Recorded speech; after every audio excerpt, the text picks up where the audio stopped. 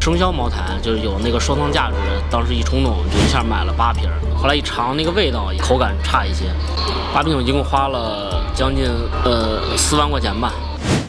去年一月，孙先生在某知名直播间买了八瓶生肖茅台酒，本以为抢到了优惠，谁知道却遇上了糟心事。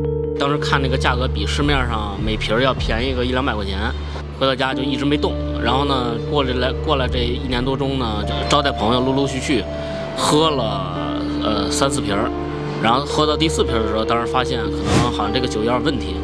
孙先生说，朋友告诉他，像这种有年份的生肖茅台倒出来应该颜色泛黄，而这瓶却很清澈。后来一尝那个味道，也觉得就是呃口感差一些，所以就产生怀疑，就是去那个茅台店去鉴定来着。啊，当然也鉴定出来说是这个这个酒是假酒。就这样，孙先生联系了直播间的售后客服，却被告知需要出具鉴定报告。但是呢，报告呢，这个茅台茅台又不对个人出示，所以我们只能协调商家和这个，呃，让商家去找这个茅台店去要这个报告。但是商家现在是拒绝状态，没有报告，只能只是口头告知。我们报告只针对执法部门出的，其他都是没有的。针对此事，记者联系到了该直播间的工作人员。从我们的角度的话呢，商家给我们的资质，包括的话呢，给我们的东西都是合规的，然后平台也是有一个相应的要求的，嗯，对吧？但是你肯定没有办法说我能查到每一个产品是什么样的，但不排除一些其他的情况。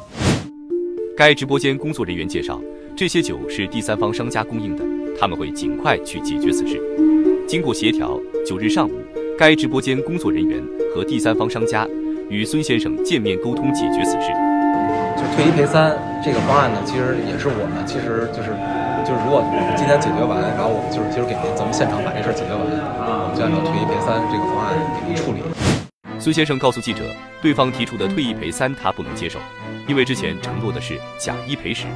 截至发稿时，双方已达成和解。目前，该直播间的供应商家店铺已处于下架状态。